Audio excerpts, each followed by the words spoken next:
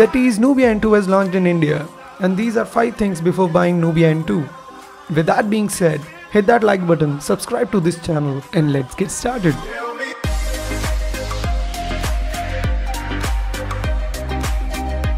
Kicking things off with the design. The smartphone looks and feels premium in hand. Although it's bit on a chunkier side, it's still logical. At the bottom end, it has USB Type-C and dual speaker grills. At the side, it has volume rockers. On the other side, it has SIM slot and power button. And at the top, it has its secondary noise cancellation and standard audio jack. Moving on to the display, it comes with 5.5 inch 1280 into 720 pixel display with 320 pixel per inch. Of course, it's not the best display in the market, but it's still good enough to handle brighter daylight.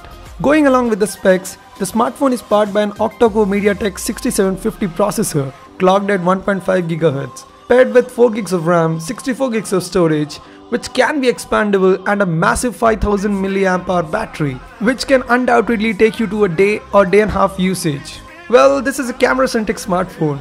At least that's what the company says. On paper, it has 13 megapixel rear and 16 megapixel front-facing camera, but I'm not pleased by its results. The autofocus and even the touch to focus isn't good enough to handle photos or videos. The photos came out to be mediocre even in a good lighting conditions. Although this could be improved with the software updates. At least we can hold up to that.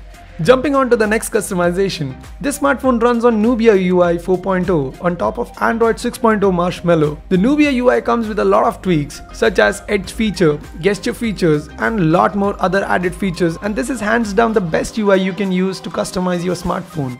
The Nubia N2 is priced at 19,000 rupees. Well now you decide whether you're getting what you're paying for.